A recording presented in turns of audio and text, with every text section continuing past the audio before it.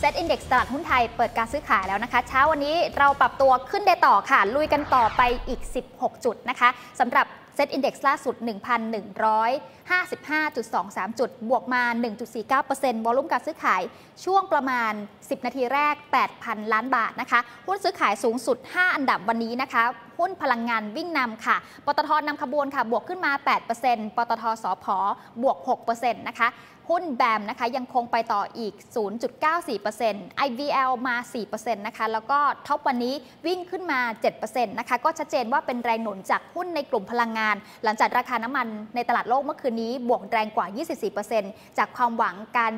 เจรจากันระหว่างซาอุรัสเซีย แล้วก็สหรัฐนะคะรอจับตาค่ะว่าทิศทางของราคาน้ำมัน แล้วก็ผลการเจรจาจะเป็นอย่างไร นอกจากนี้ก็ยังมีข่าวเรื่องของที่จีนเตรียมซื้อน้ำมันเข้าไปอยู่ในคลังสำรองทางยุทธศาสตร์ก็เป็นตัวแปรในการสนับสนุนราคาน้ำมันเหมือนกันนะคะสำหรับวันนี้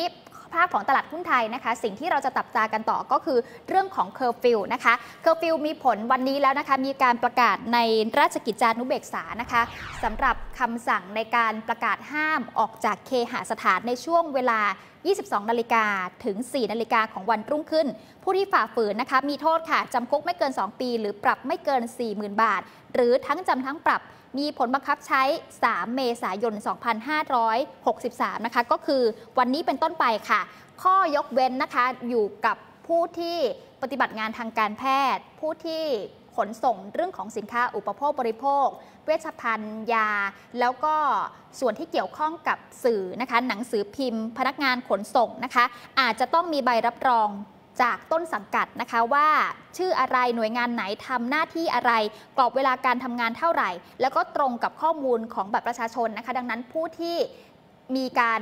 ออกนอกเคหสถานในช่วงเวลาที่ประกาศเคอร์ฟิวนะคะ ต้องพกทั้งบัตรประชาชน แล้วก็เอกสารที่เป็นต้นสังกัดนะคะ ชี้แจงเรื่องของเนื้อหาการทำงานสำหรับ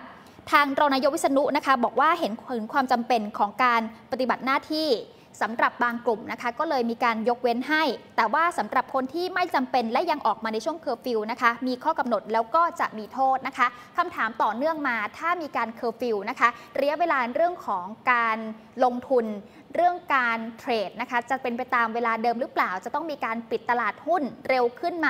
สินทรัพย์ในการซื้อขายจะได้รับผลกระทบด้วยหรือไม่นะคะ รายงานข่าวจากตลาดหลักทรัพย์แห่งประเทศไทยล่าสุดบอกว่าเคอร์ฟิวทั่วประเทศสี่ทุ่มถึงตีสี่ตั้งแต่วันนี้เป็นต้นไปนั้น ไม่ได้กระทบกับเรื่องของการทำธุรกรรมเกี่ยวกับตลาดหลักทรัพย์นะคะ การทำธุรกรรมเกี่ยวกับตลาดหลักทรัพย์ และธุรกรรมทางการเงินทั้งหมดนั้น เป็นไปตามปกติ ทั้งตลาดหลักทรัพย์นะคะเซ็ตแล้วก็ MAI นะคะแล้วก็ตลาดซื้อขายล่วงหน้า หรือว่า TFEX เปิดซื้อขายตามเวลาปกตินะคะ นี่ก็คือสิ่งที่ตลาดหลักทรัพย์นั้นยืนยันมาล่าสุดนะคะ ทีนี้เรื่องของระบบการซื้อขายจะมีผลกระทบหรือไม่อย่างไร เรื่องของจิตวิทยาการลงทุนด้วยเช่นกันนะคะ วันนี้ฟังความคิดเห็นของคุณพัทิราดีหลกรุ่งธีรภพประธานที่ปรึกษาสมาคมบริษัทหลักทรัพย์ไทยนะคะและประธานเจ้าหน้าที่บริหารของ DBS Vickers ประเทศไทย สดทางโทรศัพท์กับ Squawk Box ค่ะ คุณพัทิราสวัสดีค่ะ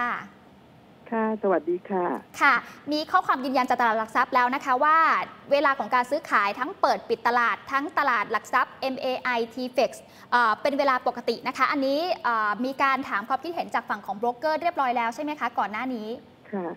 ค่ะ จริงๆเราก็มีการซักซ้อมกันมาก่อนหน้านะคะ แต่ทั้งนี้ทั้งนั้นก็ขึ้นอยู่กับเวลาเคอร์ฟิวนะคะ ว่าจะดูว่ามันมี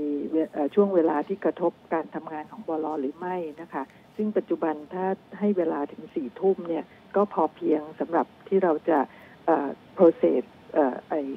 เรื่องการซื้อขายจนจบกระบวนการของแต่ละวันนะคะนั้นก็เข้าใจว่าตลาดทรัพย์ก็สามารถดำเนินการตามปกติ บริษัทที่เกี่ยวข้องก็สามารถทำงานได้ตามปกติ ค่ะค่ะ ในในช่วงเวลาที่หารือกันเนี่ยนะคะ มีมีข้อเสนอไหมคะว่าอาจจะต้องเอเลื่อนในการปิดเร็วขึ้นทั้งเซตทั้ง TFEX อะค่ะค่ะค่ะ ในกรณีที่ถ้าทางการเนี่ยเเริ่มเคอร์ฟิวเร็วอย่างยกตัวอย่างนะคะ เช่นสักทุ่มหนึ่งอย่างเงี้ยนะคะ เราก็จะเริ่มมีปัญหาแล้วค่ะ เพราะว่าตัวตลาดเนี่ยปิดสักห้าโมงเย็นนะคะหลังจากนั้นเนี่ยบลก็ต้องเริ่มกระบวนการทำในในฝ่ายที่ปฏิบัติการหลังบ้านนะคะ เพราะฉะนั้นถ้าเวลาน้อยสองชั่วโมงก็อาจจะไม่เพียงพอนะคะ เพราะฉะนั้นตอนนี้ก็ขึ้นอยู่กับว่าเวลาเคอร์ฟิวเนี่ยเริ่มกี่โมงนะคะ เพราะฉะนั้นตอนนี้ที่เราหารือกันเนี่ยถ้าหลังสองทุ่มไปแล้วเนี่ยก็ยังทำงานได้ แต่ถ้าก่อนหน้าเร็วกว่านั้นเนี่ยตลาดหลักทรัพย์ก็อาจจะต้องดูว่าจะต้องร่นระยะเวลาเทรดหรือไม่ เพื่อให้มีระยะเวลาในการ process อืมเพียงพอค่ะ ค่ะ เป็นความรู้ให้กับนักลงทุนและคุณผู้ชมนะคะเอ่อหลังจากที่มีการปิดตลาดแล้วเนี่ยนะคะเอ่อจะต้องมีกระบวนการอะไรคะในการที่ทั้งบริษัทหลักทรัพย์ แล้วก็ทางตลาดหลักทรัพย์จะต้องทำเอ่อที่อาจจะต้องค่ะใช้เวลาหลังจากที่ตลาดปิดไปแล้วอะค่ะ ค่ะค่ะ หลังจากการซื้อขายเนี่ยนะคะ ตลาดเขาจะสรุปยอดซื้อขายส่งมาให้ที่ทางบริษัทหลักทรัพย์นะคะค่ะบริษัทหลักทรัพย์ก็จะต้องออกใบ confirm ให้ลูกค้าแต่ละคนทราบว่าวันนี้ซื้อขายอะไรไปบ้างนะคะ เราจะต้องมีกระบวนการชำระราคายังไงบ้างนะคะ กรณีที่เป็นลูกค้าสถาบันต่างประเทศเนี่ยเราก็ต้องจ้างเอ่อผู้เก็บหุ้นของเขาหรือคัสเตเดียนนะคะคัสเตเดียนก็ต้องทำงานต่อกับลูกค้าต่างประเทศเพื่อจะแจ้งว่าเขามียอดซื้อขายเท่าไหร่ เราจะต้องส่งเงินมาชำระราคาเมื่อไหร่นะคะนั้นอันนี้ก็เป็นกระบวนการหลังบ้านในแง่การอืมเอ่อทำให้ว่ากระบวนการเงินและหุ้นนั้นเนี่ยครบถ้วนในระบบชำระราคา เพื่อที่ในวันรุ่งขึ้นเราก็จะเริ่มต้นกระบวนกระบวนต้นใหม่นะคะเอ่อ วันรุ่งขึ้นลูกค้าก็จะรู้ว่าตัวเองที่ซื้อเมื่อวานเนี่ยในพอร์ตของตัวเองมีหุ้นอะไรบ้าง แล้วในวันต่อไปจะต้องชำระเงินอะไรบ้างนะอันนี้ก็เป็น process ที่ทุกวันต้องทำนะคะอ๋อค่ะ หลังจากนักลงทุนเทรดจบแล้วเนี่ยนะคะ ทางโบรกเกอร์ทางตลาดเนี่ยยังไม่จบทำงานกันต่ออีกประมาณใช่2-3 ชั่วโมงใช่ไหมคะ ตามปกติ ค่ะ ถูกถูกต้องค่ะ ค่ะดังนั้นอันนี้ก็เป็นกิจวัตรประจำวันค่ะค่ะค่ะ แต่ว่าคือสำหรับในแง่จิตวิทยาล่ะคะระบบไม่กระทบจิตวิทยากระทบไหมคะ กับความรู้สึกในการลงทุนของนักลงทุนทั้งไทยทั้งต่างชาติค่ะคุณพัทธิราคะค่ะ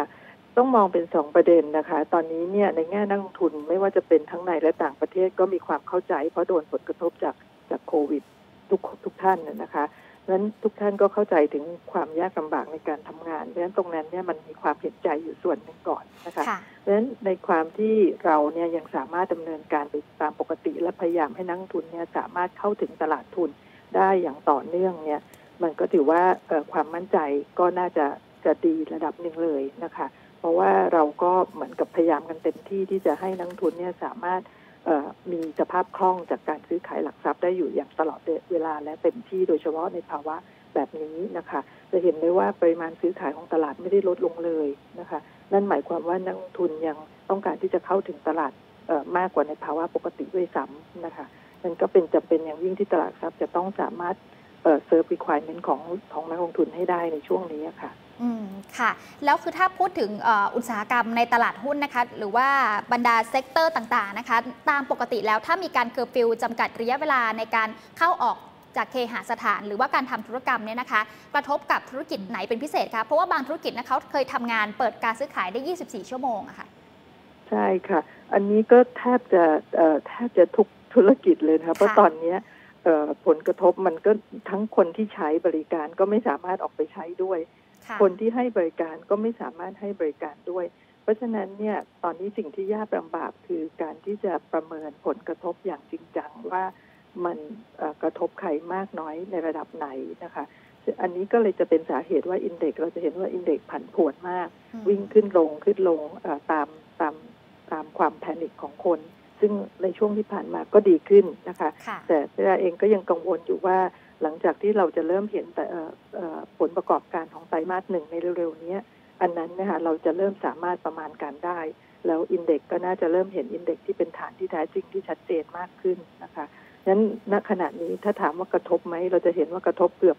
เกือบทั้งหมดเลยนะคะค่ะเอ่อแม้กระทั่ง sector ที่น้อยที่สุดเช่นอาหาร เพราะเรายังต้องกินต้องใช้อยู่เนี่ยก็ยังถูกจำกัดเวลาในการที่จะออกมาซื้อซื้อหาอาหารได้ ก็ก็น่าจะเหมือนกับว่า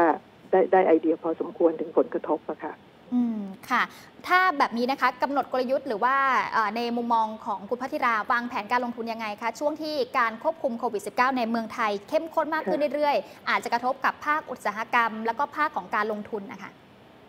ค่ะณตอนนี้เนี่ยอินเด็กซ์นะคะลงไปลึกสุดประมาณ 30 กว่าเปอร์เซ็นต์นะคะค่ะแล้วก็เด้งกลับมาตอนนี้ลบอยู่ประมาณ 25เปอร์เซ็นต์นั่นหมายความว่าตลาดกำลังจะบอกว่า ผลกระทบณตอนนี้ที่ตลาดรู้สึกว่ารับรับได้เนี่ยก็คืออยู่ที่ประมาณ 25เปอร์เซ็นต์ซึ่งส่วนตัวเนี่ยก็เห็นว่าจุดรับที่พันหนึ่งเนี่ยค่อนข้างแข็งแรงนะคะเพราะฉะนั้นถ้าถ้าประมาณการออกมาแล้วในช่วงนี้เนี่ยคิดว่าเป็นอินเด็กที่อยู่ในในระยะที่น่าจะเก็บได้นะคะค่ะแต่เนื่องจากตอนนี้เป็นขาขึ้นก็อาจจะต้องระวัดระวังนิดนึง เพราะเวลามันลงก็จะลงเกินความจริง เวลามันขึ้นมันก็จะขึ้นเป็นความเกินความจริงได้นะคะ นั้นก็ต้องในการเก็บเนี่ยก็ควรจะรอให้เป็นราคาลงแล้วก็ค่อยไปเก็บ เพราะว่างานนี้ผลกระทบมันอยู่ยาว ไม่ต้องกลัวว่าจะต้องตกรถนะคะค่ะเพราะว่าในที่สุดแล้วเนี่ยกว่าจะฟื้นตัวมันจะใช้ใช้เวลาอีกสักพักหนึ่งการเข้าเร็วเกินไปและเยอะเกินไปก็จะมีความเสี่ยงกับตัวเราเองแง่การลงทุนค่ะ แต่ค่ะเข้าช้าไปก็อาจจะตกโอกาสได้เหมือนกัน ค่ะ แต่ว่าคือตอนนี้นะคะที่จังหวะที่อินเด็กซ์ไล่ขึ้นมา